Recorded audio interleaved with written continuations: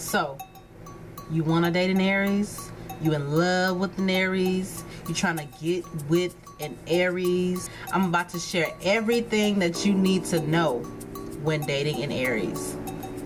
Shy is not their forte. So if you want to date an Aries, you got to be with it.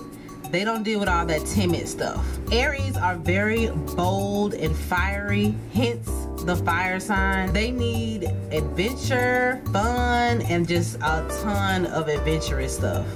Aries people can really see through bull, you know, they can really see through all that grimy stuff. So you gotta be sincere. They're not gonna have all that fake. They're gonna be straight up just 100% with you. So just be sincere. It's better to be truthful and honest than to be found okay? Especially by this bold, fiery sign boo. Arians also need depth, okay? Being outwardly attractive, looking good, having all the nicest clothes and all the nicest shoes on, all that kind of stuff is really great.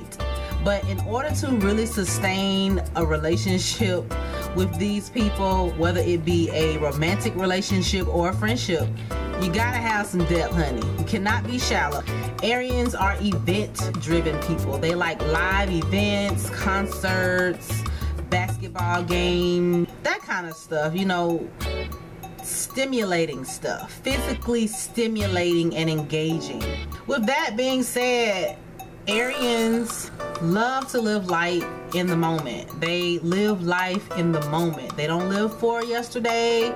They don't live for tomorrow. They live for right now. So don't expect your relationship with them to be very chill all the time. Just kind of very casual, laid back, I want to stay at home type of thing. They're gonna go. They're they're going kind of people. So don't expect anything chill. Netflix and chill is not the best date for these type of people. Arians are kind of like what I like to call the club hoppers of the zodiac. They love just going out and having a really, really good time. They're about that life. So be ready, get a nap, drink some coffee, and do whatever it takes to get the energy going right. Most Arians are open book. They don't mind sharing their knowledge and advice about things. I know oftentimes a lot of Arians really just kind of like to share all of their life experiences with people not because they want to be showy but just because it's just in their nature it's in their character to be more open and free they don't have nothing to hide they're gonna be straight up with you from the jump they are what you see is what you get kind of people they have no reason to shadow anything about themselves to you. And please do not try to control these people. Please beware. Scorpios, beware, okay? These are some people that do not like being in control. They will go in on you, okay? They will go in on you. They do not like being told what to do, um, being in under anyone's control. They're very hot-headed so if you're one of those type of dominating, controlling people, I would definitely be thinking about looking somewhere else because it's not gonna work. It will definitely be a battle. That's all I gotta say. It will definitely be a battle. I'll be going more deeper into compatibility on different videos, but Arians are most compatible with other fire signs that is Sagittarius and Leo. However, of course, depending on a person's moon rising in Venus and all the other uh, traits that they have in their sign, the way they were raised, the upbringing, all of that does also play a major role in compatibility and sustainability. Those are the things that will determine the major successes of a relationship. So I hope you guys enjoyed this video. Be sure to thumbs up. It really helps the channel out. And make sure you guys comment and subscribe. And I will see you guys on the next video. And until then, peace.